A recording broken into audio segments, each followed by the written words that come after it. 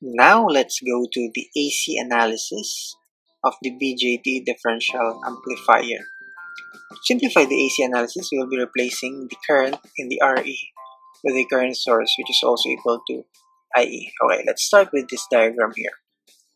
So this is the original diagram. And with this, we can generate a current IE on the resistor RE.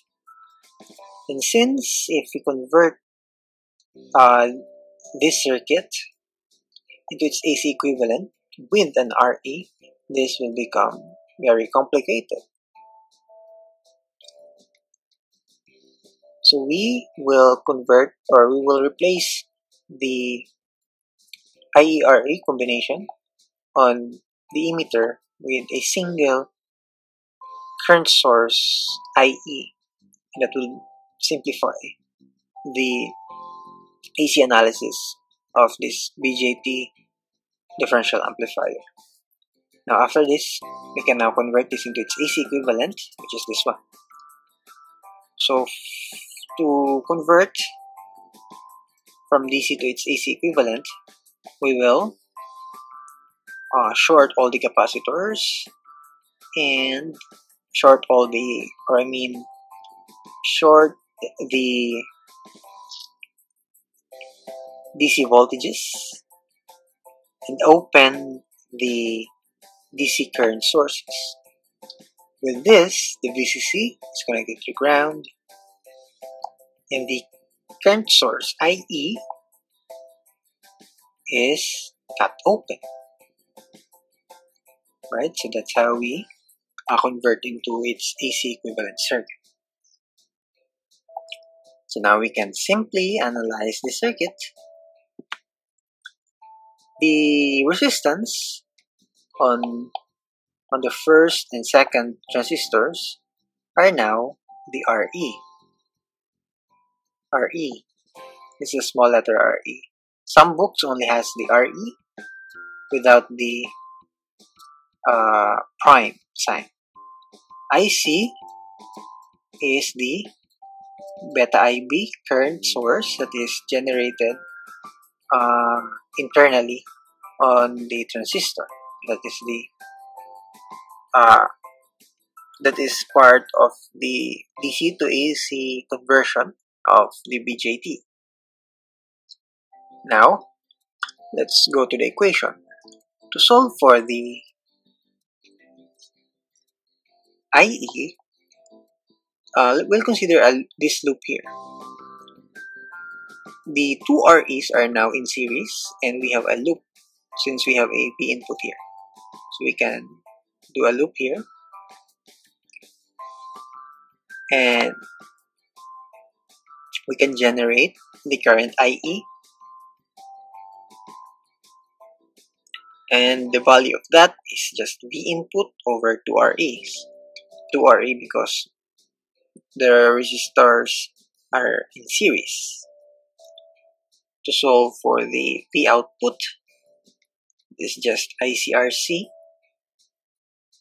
and since IC is equivalent to IE, we'll just have to substitute this and we'll end up with this equation. V out is V in over 2RE times RC. Now to get the, the gain, the differential voltage gain, we have to get the ratio of V out over V in. And we are left here with RC over 2RE. So this is now the equation of the differential voltage gain. That's RC over 2RE. And since IE is equal to IC, because this is just a, a series, series circuit here. So IE is equivalent to V in over 2RE and is approximately equal to IC which is equivalent to beta IB. So we can now take the ratio of V in over IB for us to take the input impedance. And now the input impedance is equivalent to 2 beta RE, these are the equations for the Z input and for the uh, differential mode voltage gain.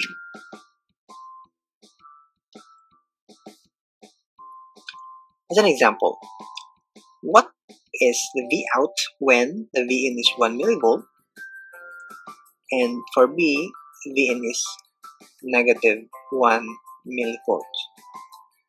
We are tasked to find the V out given the V in. So we have to find the differential uh, mode voltage gain. And how are we going to solve that one? It is from the equation that we had just derived earlier. But before that, we have to solve first the IE. That is equivalent to 14.3 microamperes. Now, let's solve for the IE1 and IE2. That's the IE divided by 2. So that's 7.15 microamperes. After that, we can now solve for the value of RE, that's 26 millivolts over IE1. So that's the value of RE. And now we can use the equation for the differential mode voltage gain, which is RC over 2 RE. RC is 1 mega ohm, and RC is 3636.36 ohms. So the value of our gain is 137.5. And now we can solve for the V out. The first V out with an input of 1 millivolt is equivalent to 0.1375 volts. And for the V out of an input of negative 1 millivolt, the V out is negative 0.1375 volts.